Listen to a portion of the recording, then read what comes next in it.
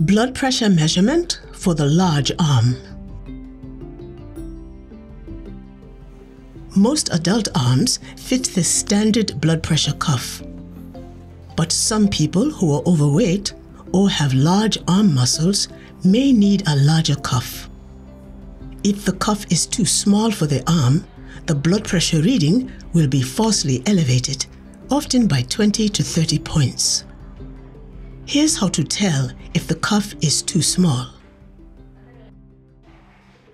If the person's arm is large, check whether the bladder of the cuff encircles at least three quarters around the upper arm. First, locate the bladder inside the cuff. It's connected to the tubing and takes up about half the length. Find the outermost edges, then holding the edges, put the cuff around the upper arm and estimate whether the bladder encircles at least three quarters of the upper arm. In this woman, the bladder only goes around half of her upper arm. This cuff is too small.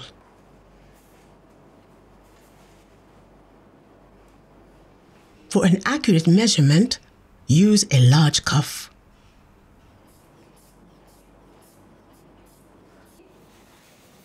This woman's arm is also too large for the regular size cuff, but a large cuff is not available. So the regular size cuff can be used on the forearm.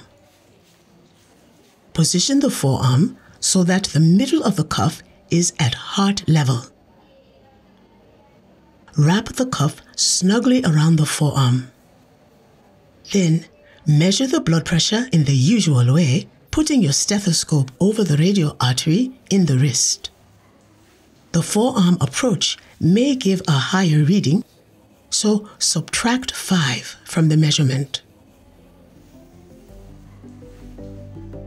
Remember, use the correct cuff size to get an accurate measurement. If the cuff is too small and you don't have a large cuff, take the blood pressure on the forearm.